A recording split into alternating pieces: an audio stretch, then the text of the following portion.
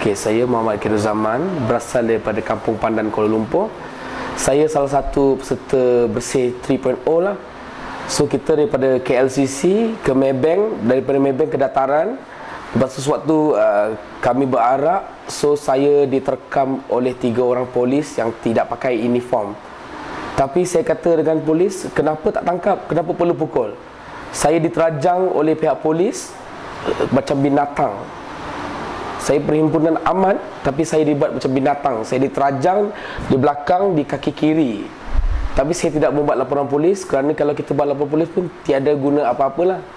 Tapi even kenapa dia buat kita kejam macam tu lah so I kena kebetulan kita mau uh, daripada uh, Maybank ke Dataran Merdeka. So ingal yang tempat dia berkawat tu so I diserang oleh tiga orang polis.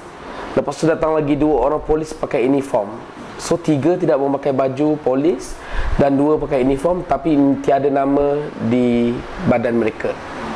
Saya tidak cam muka polis tu tapi akhirnya ada satu kumpulan uh, Melayu tolong menyelamatkan saya daripada saya dipukul lebih teruk kerana uh, saya tekad sebab uh, kita rakyat Malaysia kita berhak untuk berhimpun secara aman di mana-mana yang kita suka tapi dihalang oleh pihak kuasa dan mereka pukul kita kejam.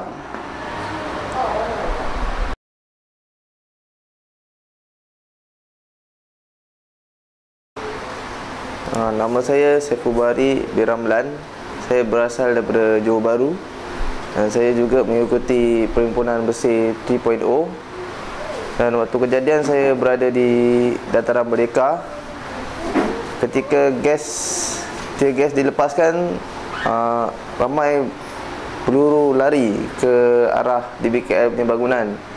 So waktu itu polis mula menyerang dan menangkap Mengkasari dan saya di ditendang tapi saya tidak ada mengalami kecederaan tapi saya sempat melarikan diri. Saya nampak ramai orang yang ditendang dan disepak dikasari oleh pihak polis.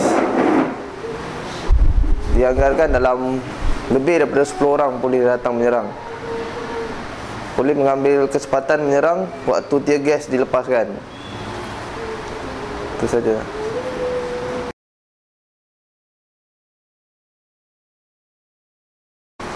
Okay, Assalamualaikum warahmatullahi wabarakatuh. Nama saya Muhammad Firdaus bin Azizi. Uh, Saya as, uh, asal daripada Kuantan. Pada jam 3 uh, jam 3 petang saya dan uh, rakan-rakan saya berada di sana. Uh, kami telah ditembak dengan gas pemedih mata dan uh, kami lari uh, sejauh hampir 1 km tetapi asapnya masih lagi kami terasa.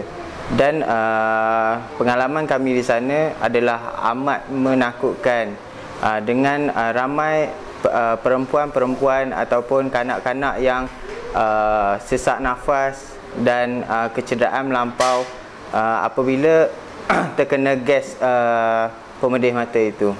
Pada jam 5 petang saya uh, bersama uh, kumpulan uh, Tian Jua uh, menghampiri dataran semula dan saya ditangkap oleh uh, dua orang anggota polis dan terus saya dibelasah sehingga kan uh, saya tidak dapat bangun. Uh, selepas uh, saya diangkat oleh anggota polis itu, saya di uh, dipasing pula pada rakan uh, anggota polis yang lain untuk uh, dibelasah.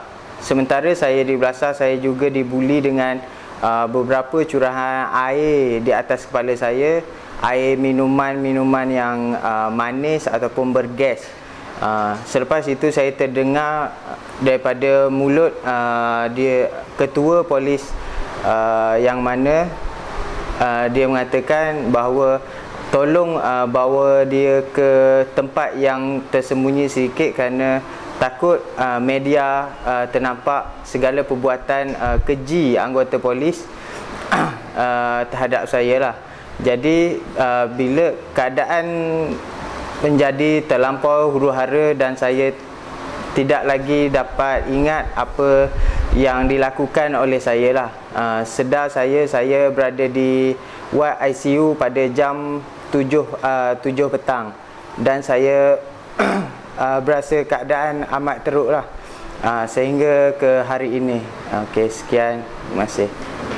Okey, kecederaan saya di bahagian uh, hidung, di bahagian bibir, uh, and then uh, kepala, lepas tu uh, dada, uh, lepas tu bahu masih lagi ada kecederaan uh, ataupun bukti yang uh, lebam. Uh, lepas tu uh, dalam organ-organ saya ni saya belum ada keputusan daripada doktor bahawa saya sihat sepenuhnya lah.